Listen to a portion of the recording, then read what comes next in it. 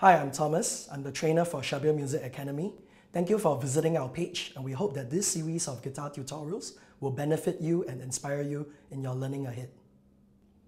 In tutorial 1, we'll be learning the basic down-up stroke, or which I call it the pop strum. This consists of the E major that we'll be learning throughout all four tutorials. Now the E chord that's formed by the first finger on the third string, the second finger on the fifth string, and the third finger on the fourth string.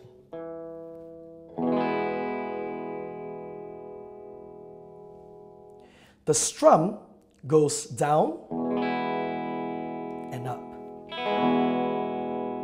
The strumming pattern goes down, down, up, up, down.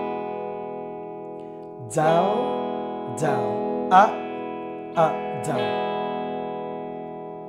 Now take note when you are strumming of the pick, not to digging too much, so to ensure that all notes ring across evenly.